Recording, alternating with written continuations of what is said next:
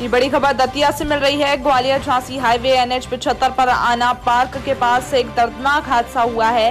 तेज रफ्तार आती स्विफ्ट गाड़ी ने भैंस में टक्कर मारी है। भैंस की मौके पर ही मौत हो गई। आगे से पूरी तरह से क्षतिग्रस्त हो गई है स्विफ्ट गाड़ी। ड्राइवर घायल हुआ है। साथ ही साथ डायर हंड्रेड मौके पर पहुँची है और ड्राइवर को जिला चिकित्सालय पहुँचाया गया है। आपको बता दें, एक बार फिर ग्वालियर झांसी हाईवे एनएच पिछहत्तर पर एक दर्दनाक हादसा हुआ है, जिसमें स्विफ्ट गाड़ी की भैंस से टक्कर हुई, जिसमें भैंस की मौके पर ही मौत हो गई। वहीं आगे की गाड़ी, आगे का पार्ट क्षतिग्रस्त हो चुका है। ड्राइवर की हालत घायल है और ड्राइवर को अभी जिला चिकित्सालय भर्ती कराया गया है। दतिया से अंकित जैन की रिपोर्ट।